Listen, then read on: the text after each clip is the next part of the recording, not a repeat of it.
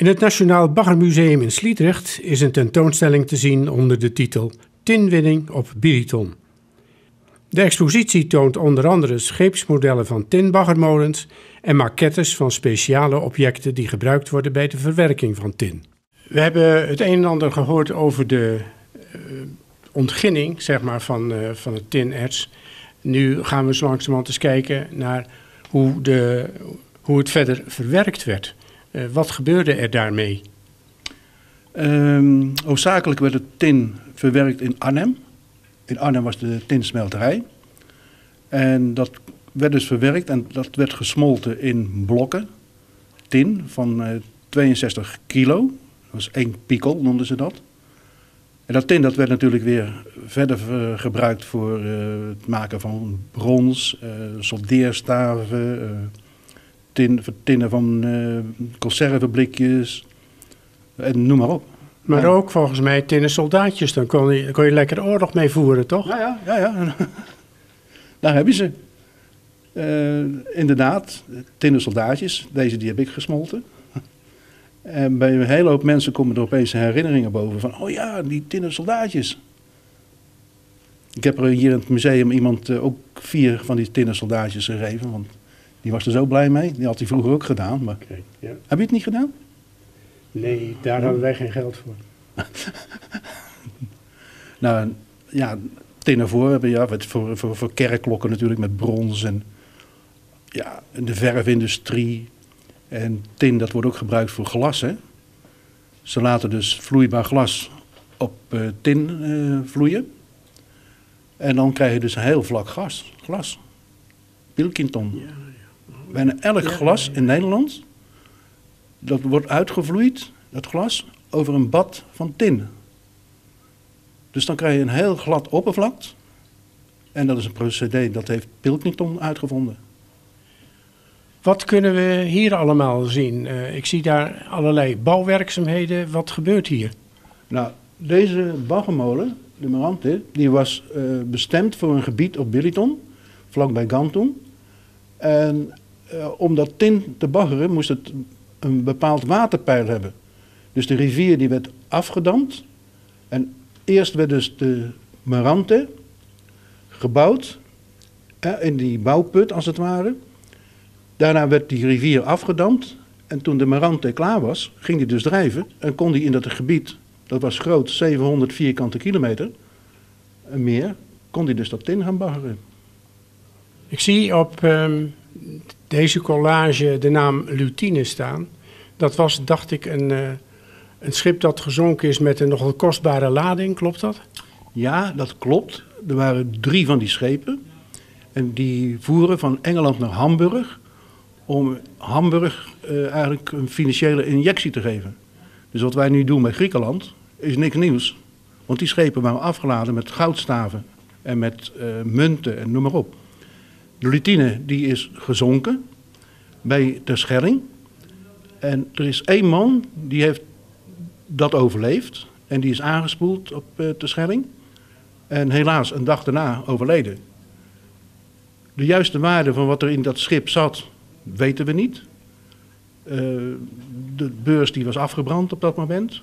Dus, maar er zijn allerlei pogingen gedaan om dat goud te bergen. En er zijn een hele hoop Volendammers van de een op de andere dag rijk geworden. En toen was de Karimata beschikbaar.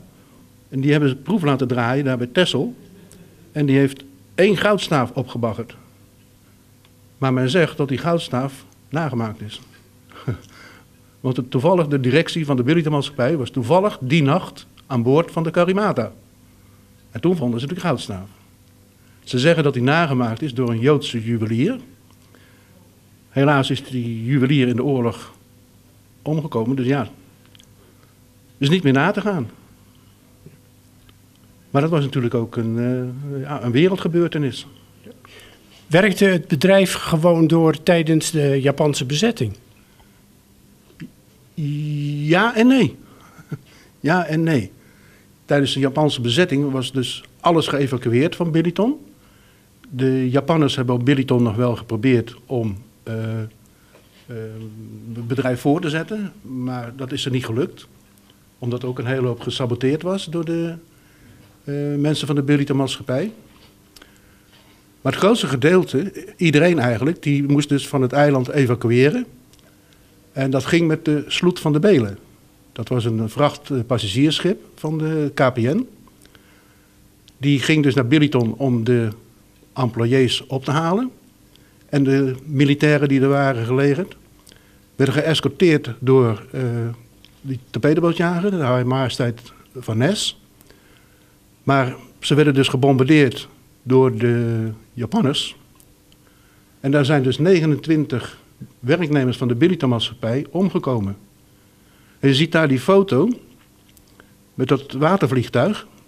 Dat was een van de laatste reddingsoperaties bij de sloet van de Belen.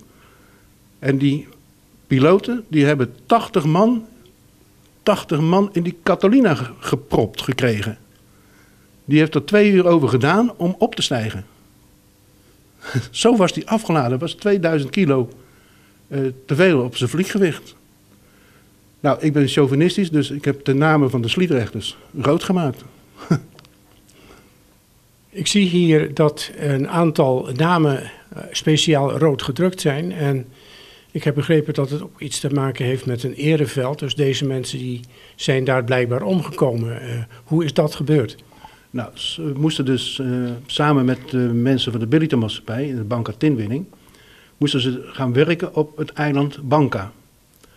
En op het eiland Banca, ze kregen dus een geplastificeerde pas. En uh, na verloop van tijd werden ze dus niet in een concentratiekamp of een jappenkamp. Die mensen werden in de gevangenis gezet. Dus ze hadden gebaggerd voor de Japanners. En opeens werden ze dus gevangen gezet in een gevangenis. En je ziet dat na verloop van tijd, hè, dus honger, uh, noem maar op.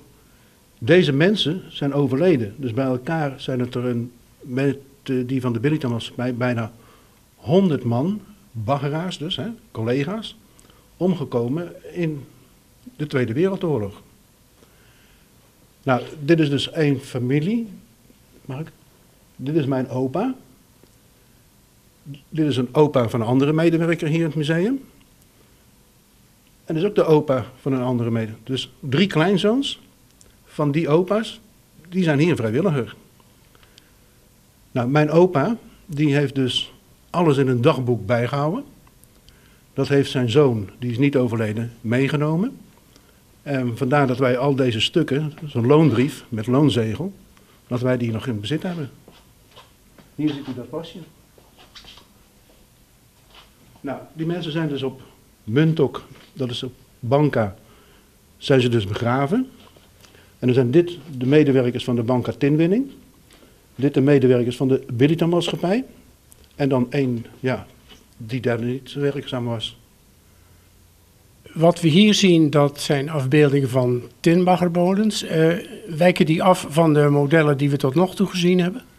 Ja, dat klopt. Want deze tinbaggermolens, die hadden dus een heel groot wasgroot gedeelte. Hè? Dus je ziet het wel, wat je daar die maquettes gezien hebt, met die spoelgoten. Dat was op die tinbaggermolens ook uitgevoerd. En dan konden de koelies in die tingoten, die wasgoten, konden ze het zand van het tin wegspoelen.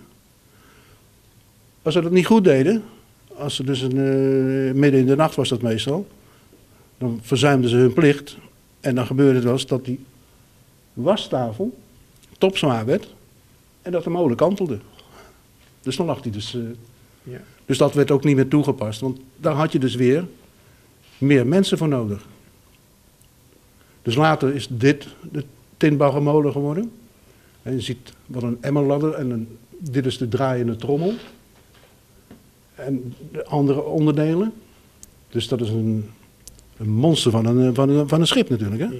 Ik heb begrepen dat op een gegeven ogenblik uh, eh, IHC zich met dit soort uh, dingen heeft bezig gehouden. Klopt dat? Ja, dat klopt. Want de Billiton-maatschappij die wist dat dus na de oorlog weer tin nodig was. Dus die heeft eigenlijk alle zes de werven, want daar de naam het zeskant, alle zes de werven, de Klop, uh, Gusto, uh, Verschuren, Conrad, bij elkaar geroepen. En gezegd, mannen, we gaan dus na de oorlog zes tinbaggermolens bouwen. Jullie moeten één vereniging worden. Want we gaan niet bij zes maatschappijen werven, gaan we offertes aanvragen. We willen gewoon één partij waar we mee kunnen praten. Dus dat resulteerde dat de tinbarrenmolens, die werden dus eigenlijk gebouwd onder naam van de IAC. Je ziet hier ook CO nummer 1. Dit was het eerste ordenummer van de IAC. Centrale opdracht nummer 1, benoeming. Dus dat is eigenlijk voor een hele hoop scheepswerven in Nederland en ook voor de scheepswerven hier. Die kregen een kapitaalinjectie en die konden die schepen eh, bouwen. En dat is allemaal goed gegaan. Ze hebben natuurlijk in korte tijd toch zes van die grote monsters gebouwd. En nog meer natuurlijk, hè, eh, sleepboten, noem maar op. Ik geloof dat er veertien werven in Nederland uh, profijt hadden van de Billiton-maatschappij. En ook de sleepreizen natuurlijk, hè? de sleepboten. Op een gegeven moment werd Indonesië natuurlijk een zelfstandige republiek. Heeft dat ook nog gevolgen gehad voor de Billiton-maatschappij? Ja, dat klopt. Uh, na de oorlog kreeg de Billiton-maatschappij ook het beheer over de Banca Tinwinning. want Banca Tinwinning was toen Indonesië zelfstandig werd, was een, uh, een, staatsmaatschappij. Dus die werd overgenomen door Indonesië, Republiek. Dus daarna mocht de, de Billiton-maatschappij nog wel tinbaggeren. Ze hadden dus een vergunning tot 1959. En ja, toen was ook de, de toestand met uh, Nieuw-Guinea. En Sukarno die wilde alle Nederlanders eruit halen. En ook alle maatschappijen die werden genationaliseerd, zoals de Billiton-maatschappij, de KPN en noem maar op. Dus toen was in 1959 was het eigenlijk afgelopen. Toen werd de Billiton-maatschappij geliquideerd. Nou, de Billiton-maatschappij niet, de gemeenschappelijke mijnbouwmaatschappij. Dus toen ging al het materiaal alle, alle tintbaggermolens die daar staan, die gingen over naar de PT Tima. En tegenwoordig zijn die contacten wel weer zo dat in uh, Billiton worden, of in uh, Indonesië worden dus ook nog wel baggermolens uh, te werk gesteld. Maar die worden dan in Japan gebouwd, wel met medeweten van de, van de IAC. Ja. Is het zo dus dat er nog steeds wel tin wordt gewonnen daar?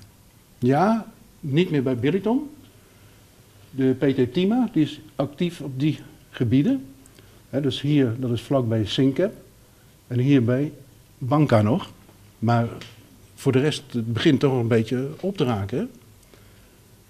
En je krijgt natuurlijk ook de, de illegale tinwinning. van die kleine lokale, van de lokale bevolking die ook tin wint. Maar wel onder gevaarlijke omstandigheden. Nou, hier ziet u dat de Billiton maatschappij, die is dus overgegaan nu naar de BHP Billiton. Dat is een Australische maatschappij, de grootste mijnbouwmaatschappij ter wereld. Maar die heeft toch nog wel de naam Billiton. En ik dacht dat ook Shell er nog iets mee te maken heeft, klopt dat? Ja, Shell die heeft dus in 1970 uh, eh, de Billiton maatschappij opgekocht. En dat is heel raar, want ze kochten hem op, terwijl de Billiton maatschappij ontzettend veel winst maakte. dus in 1970 kochten ze de, de Billiton-maatschappij op. En toen zagen ze wel dat een hele andere discipline is, mijnen of olie. En toen hebben ze weer verkocht aan een Zuid-Afrikaanse maatschappij. En die heeft hem weer verkocht aan uh, eh, BHP, de Australische maatschappij. Dus, dus eigenlijk is het verhaal van de Biliton niet echt afgelopen? Nee, nee, nee, helemaal niet. Nee, het is, uh, nee, het is echt nog niet afgelopen. Het is, en met die aandelen zit het ook raar, hè? Want deze heeft nog altijd voor de Biliton een aparte aandelenstructuur. er zit toch iets aan wat u zegt, iets koninklijks. Uh, er zit iets. Ja, ja. Er gingen dus ook uh, nogal wat uh, sliedrechters hier naartoe, naar, naar dit eiland. En daar is ook nog het een en ander over te vertellen van uh, waar ze gehuisvest werden en wat ze daar allemaal precies deden. Wat ze eventueel ook in hun vrije tijd deden. En weet u daar iets over te zeggen nog? Ja, kijk, we gingen dus met uh, passagiersschip de Oranje, de Willem Ruis, werden we dus naar uh, Indonesië gebracht. Nou, daar waren ziekenhuizen, scholen, Eh, hier in het ziekenhuis zijn een hele hoop Sliedrechters en andere Billytonezen geboren. En we hadden op Billyton ook eigenlijk een nummer. Als je dus allemaal dezelfde naam had. Dit is Van Genderen 3. Dit is Van Genderen 4. Dus dat waren broers. En degene die het eerste was, dat was 3. En de andere, dat was 4. Wij waren Bons 3. Dus je kreeg net als een koe een nummer. Want er waren geen straatnamen. Nou, hier, dat is ook mooi, dat is een bewijs van herkenning van een plaatsgenoot. Die was net voor de oorlog geboren, van 1942. En toen was er geen ambtelijke stand, geen burgerlijke stand. En die heeft een bewijs van herkenning gekregen. Dus die, na de oorlog, toen werd hij dus door een aantal medewerkers herkend als zoon van die en die. Ja, had dat iets met het Nederlanderschap te maken ja, of zo? Ja, ja. Nou, om de twee jaar gingen we met uh, vakantie naar Bandung. En hoofdzakelijk gingen we met die, met die grote passagiersschepen, de Oranje, de Willem Ruis. Dus heen en weer, hè. Ik heb drie reizen gemaakt op de Oranje. En ik ben twaalf jaar geworden op de Oranje. Hier zien we een model van een zogenaamd sliprad. Kunt u uitleggen hoe dat in zijn werk ging? Dat sliprad dat werd uh, hoofdzakelijk in Nederlands-Indië gebruikt.